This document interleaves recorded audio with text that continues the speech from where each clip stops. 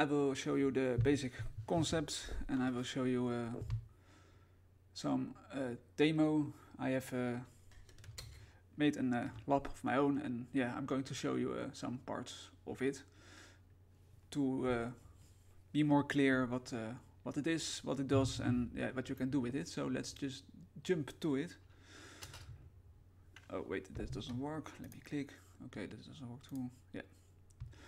Okay, today I'm going to talk about uh, now what is an Active Directory, uh, what what is actually a domain, and what can you do with a domain, what is a domain controller, what are forests, what are trusts, what are organizational units, or short for OU, uh, what are access control lists, or short for ACL, and what are service principal names.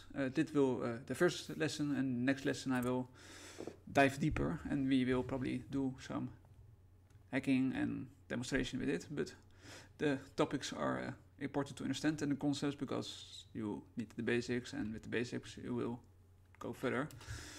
Uh, so, what is an uh, Active Directory? Now, an Active Directory is, yeah, uh, it is an it is a directory service that synthesizes the management of users, groups, and computers. So, for example, you have yeah, 10 computers, uh, 20 uh, users, and three groups. Now, with Active Directory, you can just manage that and combine it into one environment.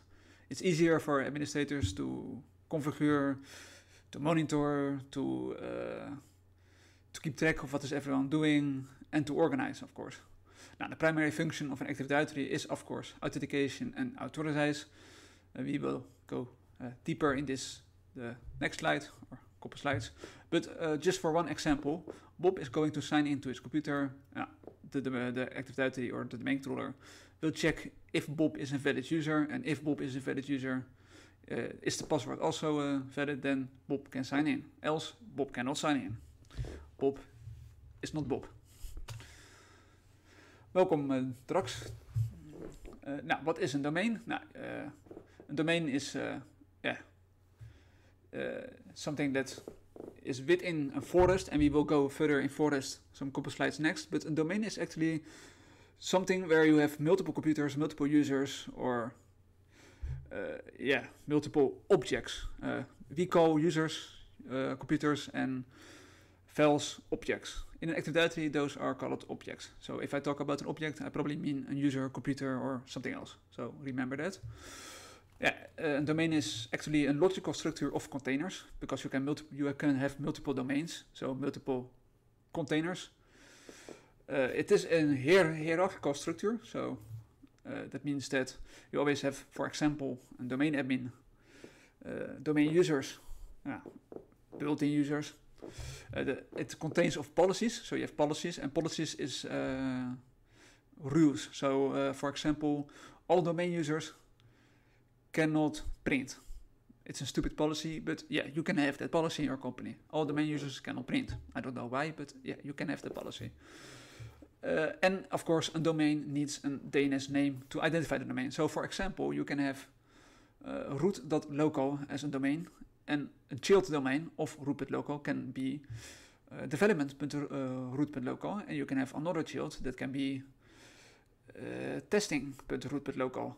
And within those domains, dus within root.local, you can have users, computers, and you can say, for example, make a policy that everyone in root.local cannot access development.root.local, but they can access test.local, uh, root.local.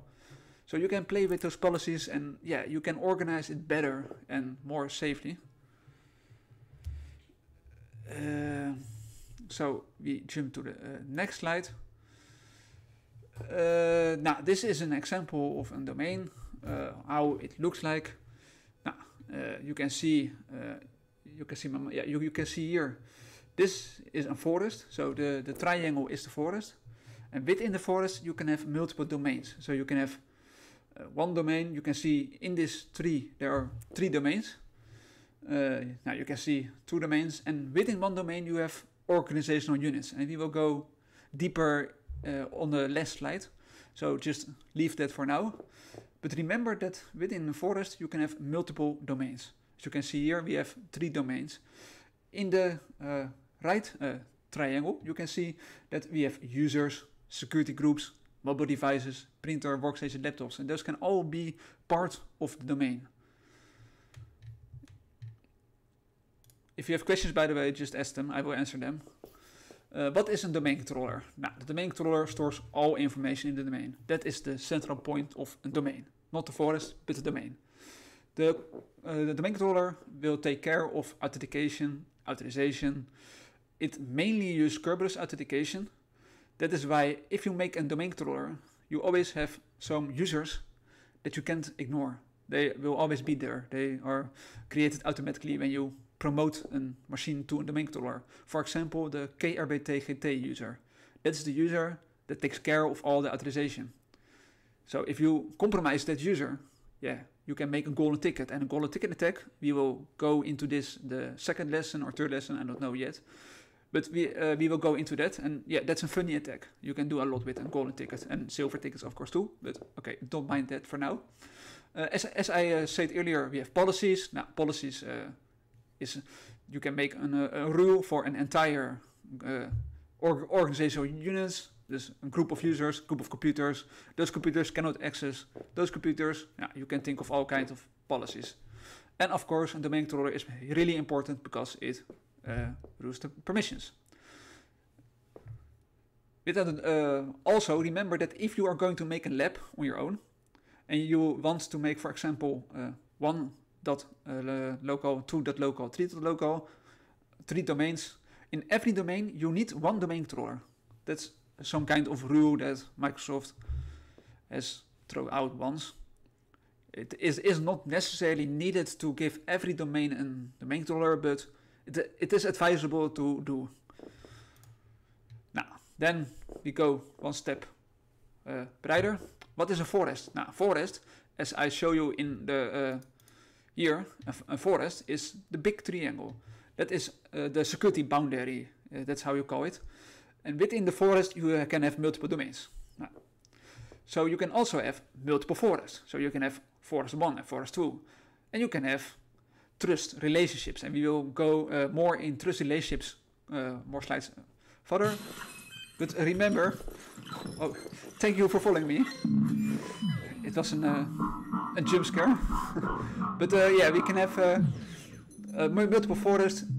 And yeah, within two forests you can have trust relationships. And trust relationships is kind of forest 1 is allowed to view objects in forest 2. But forest 2 cannot see something from forest 1. That is some kind of trust. But we will go into it. Now, I have made an example here, developed with Microsoft local, Microsoft.local and Apple.local. Now, you can see Microsoft.local is the root forest uh, in this picture.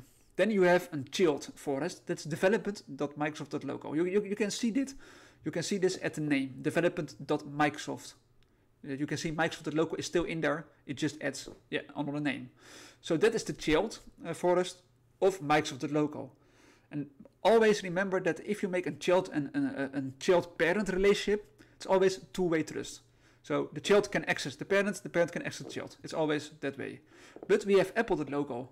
And yeah, what is Apple.local? It's not a child of Microsoft.local. It's also not a child, child, child, child of developer but Microsoft.local. No. It is an entirely new forest. Uh, not connected with Microsoft.local.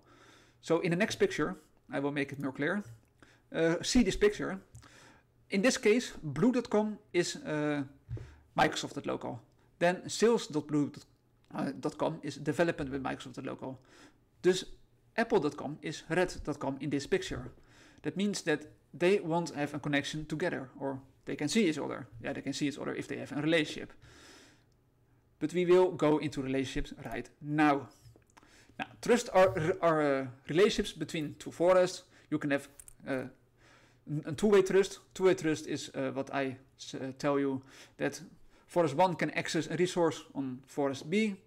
Forest B can access something on forest A. But you can also have a, a, a one-way trust. And as you see in this picture, a one-way trust is that blue.com can access red.com, but red.com cannot access blue.com. And that's a one-way trust. So blue uh, trusts red, but red does not trust blue. You can see it like that. But there's something more at the trust because you also have transitive trust and non-transitive trust. Uh, transitive trust uh, is, for example, that I will make you an, uh, a take a, a, picture to uh, show you what I mean. Uh, triangle. Okay, you have domain A, you have domain B, and domain C. Okay, those are three forests. If I talk about a transitive trust, that means that domain A can hop can hop to domain B, and domain A can also access domain C, because it's a trans transitive trust. Because domain A trusts domain B, domain B trusts domain C, domain A uh, trusts uh, domain C. And that is a transitive trust. So you can walk through the uh, forest B to the to forest C. Then, the, then we have non-transitive trust. And I think you already guess what that means. But a non-transitive trust means that this and this cannot happen. That means that domain A trusts domain B, but there is no trust between, uh, or, or domain A cannot access domain C. Even if there are trust uh, with domain B and domain C, it still cannot, domain A can access domain uh, C, or forest A cannot access forest C. That's non-transitive. I have a picture that makes it more clear for you. See this picture. Now you can have uh, beta.com. Now you have a tree with hostam and phoenixbeta.com. Now childs of beta.com. And we have alpha.com. Now alpha and beta, yeah, they are not child uh, parent relationship. No, they are. This is an external forest. That's how you call it. External forest. It's an external forest and it's not within beta. Uh, you can see in this picture that there's a two-way transitive trust. That means that beta can access alpha, alpha can access beta.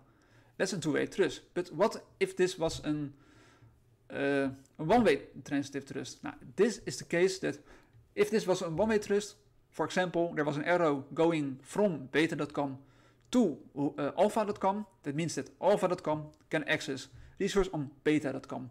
It's really confusing if you hear that there's an arrow from beta.com going to alpha.com, you can think, hmm, then beta can access alpha. No, it's the old, other way around. Beta trusts alpha, so alpha can access beta. Remember, if I talk, if the, uh, remember that it, that is the way.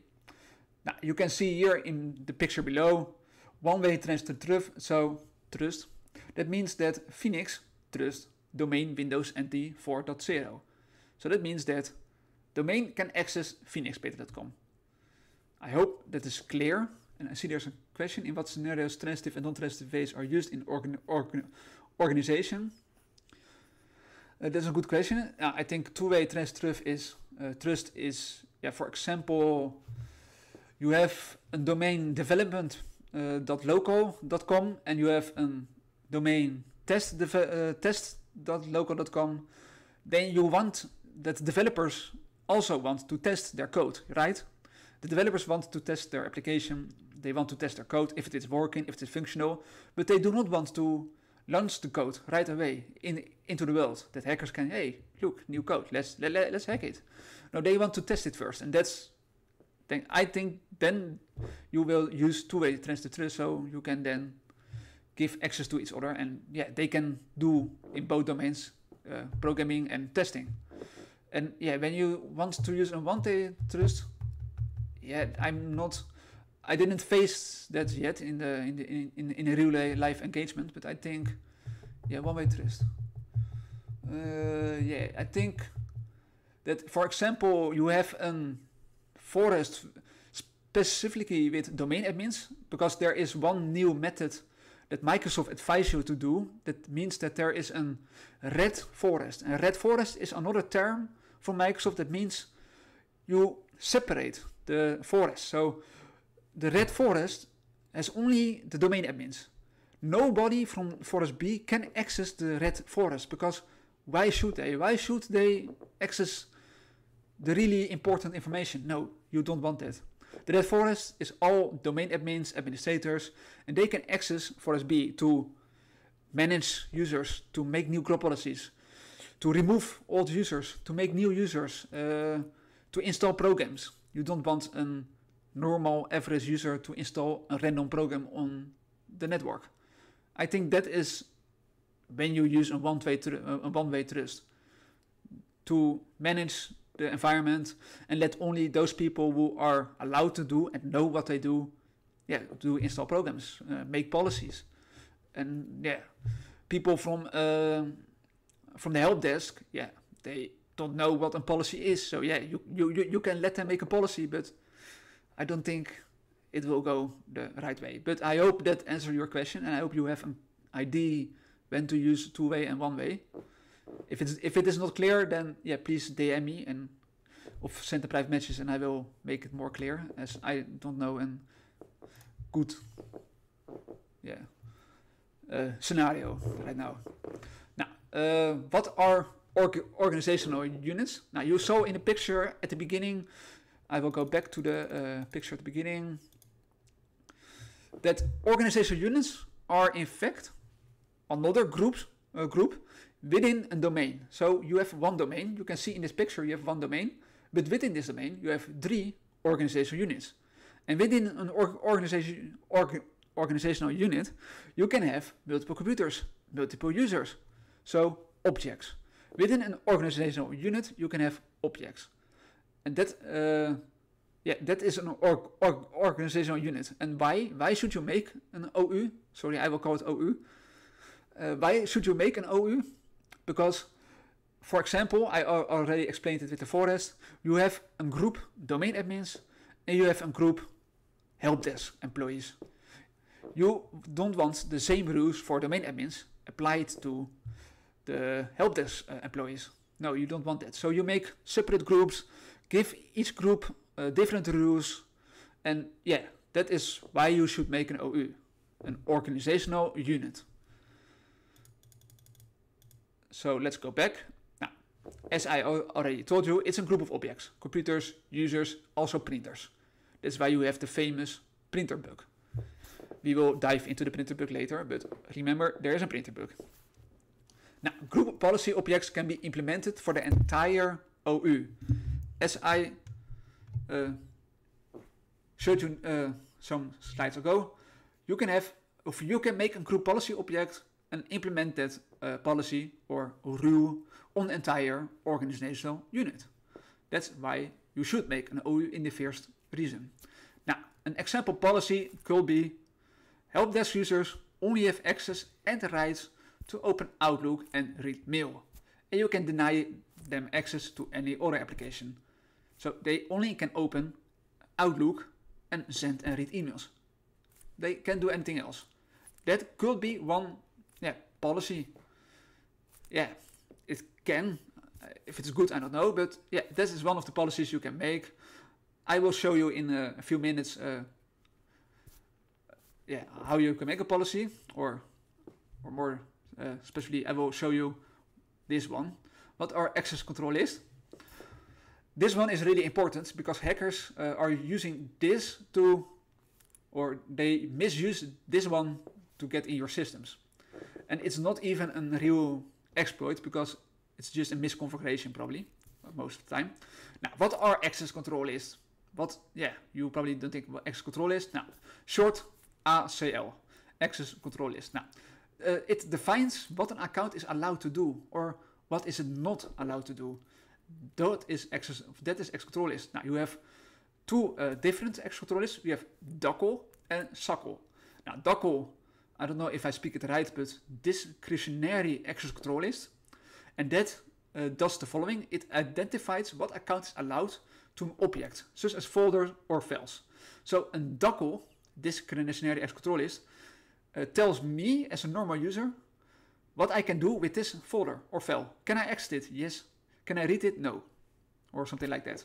Then we have SACL, System Access Control List. And uh, SACL en enables the admins, the domain admins, uh, normal admins, to look attempts uh, to access security objects. So if I try to open a uh, security object or an object that is heavily secured and I should not allow it, then the admins uh, probably get a notification that I am doing that if the admin has enabled SACL.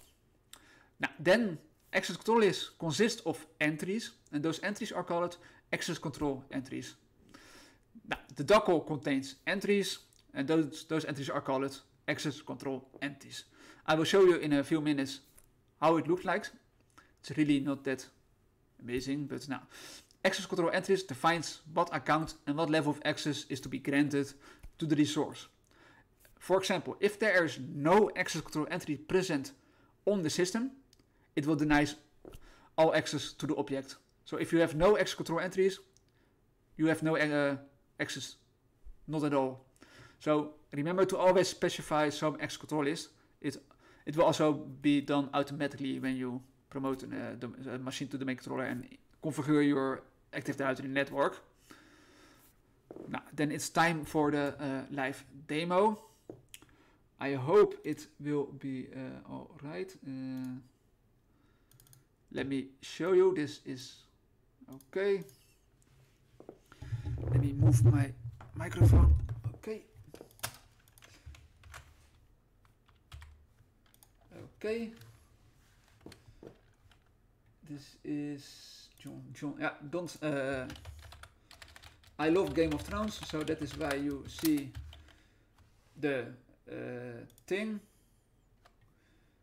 Who, who, who doesn't love uh, Game of Thrones? I think, but yeah, I don't know. But this is my domain controller. It is not really fast, so uh, please uh, bear with me.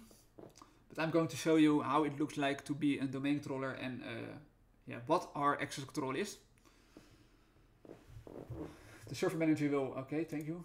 The server manager will pop up. And so, uh, server manager is a program that will come default with uh, Windows Server. And that's how you manage your yeah, Active Directory. Okay, the server manager will pop up. Once the server manager will pop up, then uh, I will show you. Yes, there are updates available, but I don't want them. Okay, now this is how Server Manager looks like. One, uh, once you will install a domain controller or even a Windows System Server, you'll see this interface. Then it will ask you configure this local server. You need to click that and then you will uh, start the process of making this machine to a domain controller.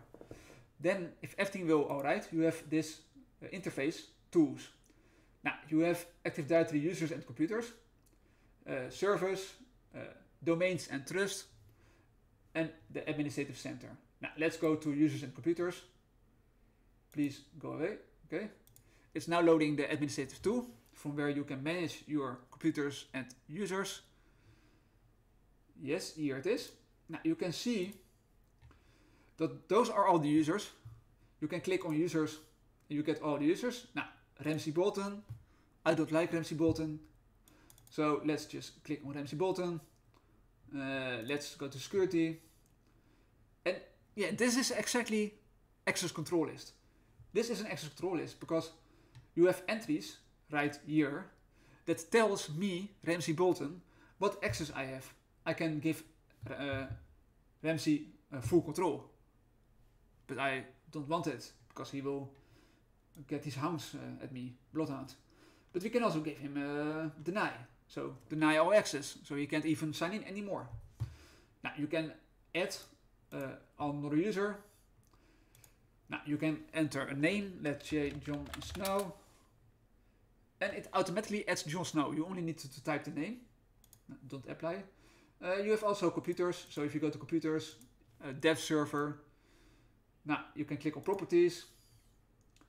Uh, you can see it's the member of comp uh, computer of the main computers. Now, security. And here again we have access control list and you can specify who can access this machine, what can he do, what can he not do, etc. You can do a lot with this access control list. Uh, yes, let's go to something else. Let's go to domain and trust. Now, those are the domain and trust. You can see that rootsec.local is the uh, yeah the the uh, parent domain, the parent forest. Then we have development rootsec.local. Development rootsec.local is the child forest of rootsec.local. So they have a two-way transfer so they can access each other I can ping them, you can ping me, I can access resource there, you can access resource me. We have also another for uh, let me check uh, advanced. Uh, we should have uh, more properties. Yes, we have here trust. And here in the trust uh, window, you can see each, each domain uh, who has a trust relationship with this root local. You can see Westtrust.local. Westtrust.local has a, is a forest trust type. That means it is a a separate forest.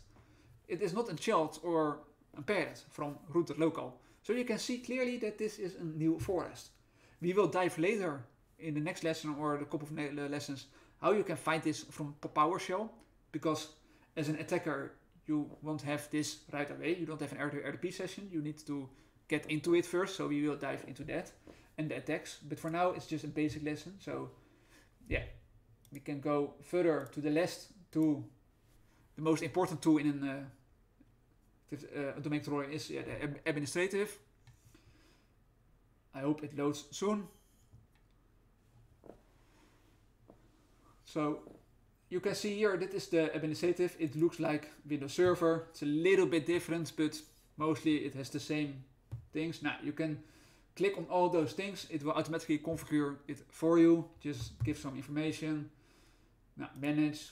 Now you can uh, do more things here. You can see here information about the domain controller. Now users. As I showed you earlier, it's just the same as what we already have seen. So yeah. Let's go to the next one. The last thing I will explain to you for this lesson. Then we have a Kahoot quiz. So I hope you all uh, paid attention. What are service principal names? Service principal names uh, is actually a unique identifier for a service instance.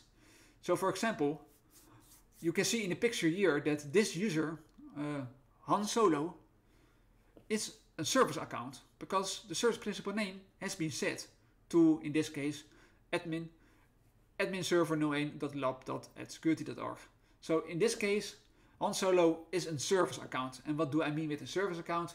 A service account is an account that is uh, the administrator of that particular service. In this case, the service that you see at service principal name. For an attacker, this can really be handy because if you see an SPN, a service principal name, to, for example, MS SQL, you know that MS SQL is installed.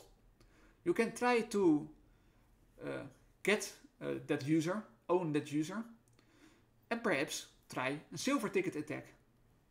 Perhaps that could work, or you can check to dump the hash, to pass over the hash, get that user, and you have total control uh, of that service, in this case MS SQL. If you see a SPN set to a user, it means the user is a service account, as I explained, and the service account belongs to a specific service running on the system. So we will go into it, uh, how to attack this and how to fight this.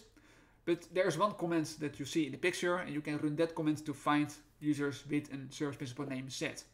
That's one of the commands that you can use. Also, we have PowerView, and PowerView is a really handy uh, tool that help you to enumerate an Active Directory. So, now it's time for a short challenge. So let me uh, pop up, pop up Kahoot. I hope you guys are ready. And I hope you guys have paid attention because that's the most important. That's what I test. And the winner will get an uh, award. I hope I still remember my...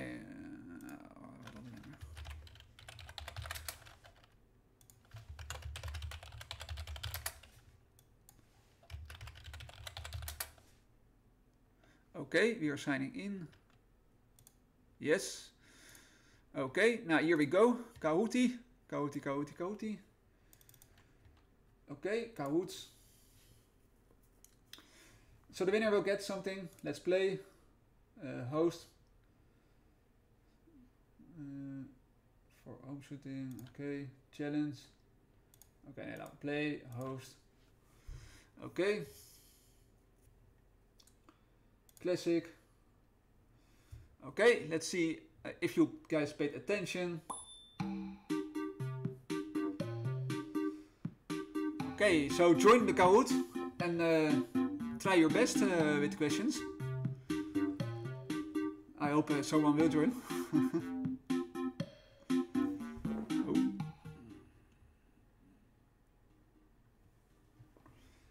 You can join by going to uh, Kahoot and enter this pin code, and yeah, you can see uh, how well you have paid attention to it. So let's wait for the players to join.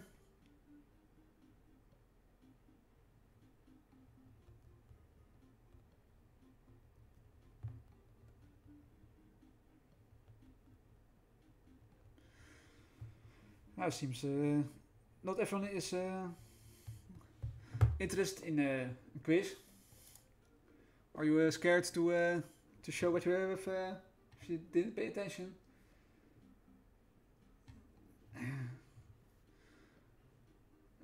Kahooti. Yeah, you, you, you, you can also download the app, so it's whatever you prefer.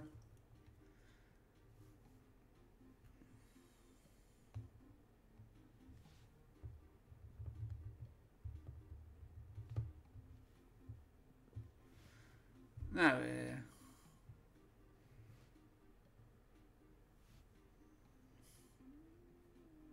Now we have one user.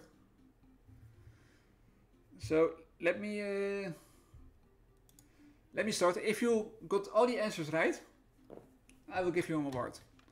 But I not spoil anything. So let's start. Let's see how well you will do.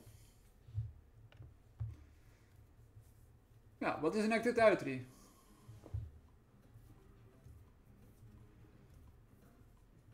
Yeah. You have uh, seven seconds to answer.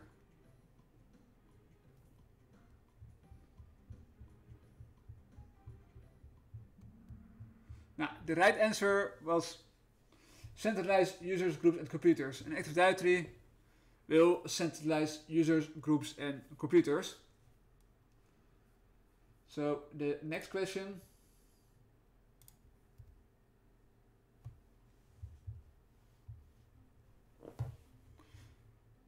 What is a domain? Now, domain is not a eh, type of access control list. No, a domain is a logical structure of containers because you can have multiple domains. Within domain, you can use computers, etc., objects. So, what is a domain controller? Yeah, exactly. A domain controller stores all information in the domain. That's good. Let's go to the next one. Four more questions. What is a forest?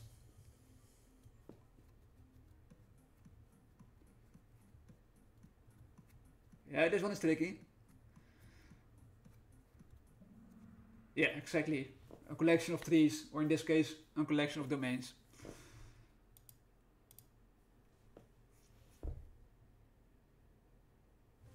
What are trusts? No, tru yeah, trusts are nothing. Yeah, yeah, you can see it as nothing. Now, a trust is a relationship between two forests. what are organizational units?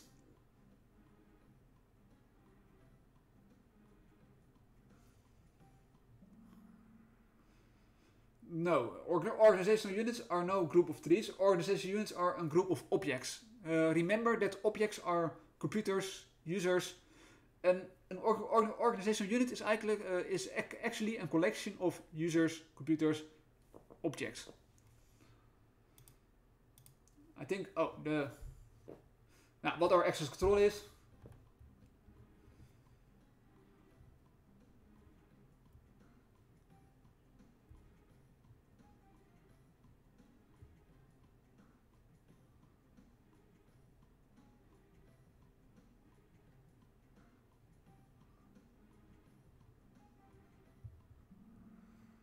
Yes.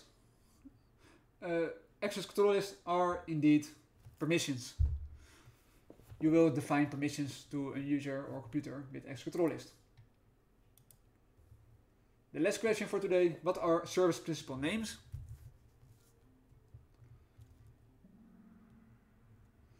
No, service, service principal names are not the name of the principal, PC principal, South Park, yeah, it will be nice. But yeah, service principal names are unique identifiers of a service instance. So you remember from the slide, remember from the slide, service principal names, uh, yeah, it belongs to a specific service running on the system. Well, this was my first Active Directory lesson. I hope you all enjoyed it. And for the next lesson, I will probably uh, do more with PowerShell and show you how you can enumerate an, uh, an Active Directory environment and dive more in what kind of attacks are there and uh, in, in, enumeration. We will probably do a lot of enumeration in the next lesson. Then the third lesson we will do uh, privilege escalation because one, once you got a shell on the system, you need to privilege escalation. The fourth lesson we will do uh, domain persistence. We want to stay on the computer even it, even if it reboots. And then one of the last lessons we will probably uh, how to attack one forest, how to attack the other forest from one forest, and how do I get to the other forest from one forest if there is no relationship. So I am thanking you all for watching this uh, first Active Directory lesson. And yeah, I hope I see you all with the next lesson. And I hope I see you all this Wednesday, because this Wednesday I have a new guest on my stream, and it is uh, the only one TJ Null, an uh, offensive security member. I will not uh, spoil too much, but check it out, and I see you all Wednesday. I will be back in some minutes, uh, so stay, stay